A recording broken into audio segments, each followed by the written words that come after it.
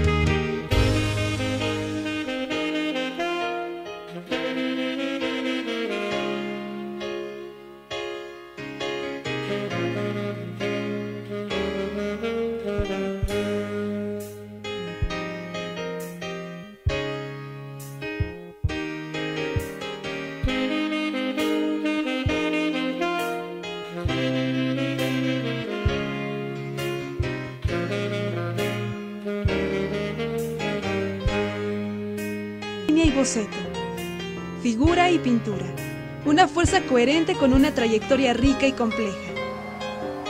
Con inicios en la caricatura política, opositor tanto de Porfirio Díaz como de Francisco y Madero,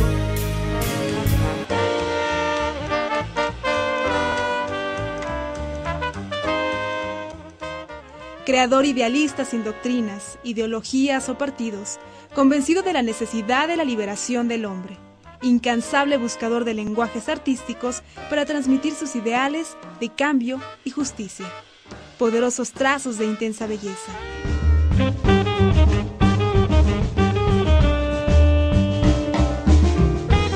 Viaje plástico por el dibujo, la acuarela, la gráfica, la caricatura, el muralismo y la pintura.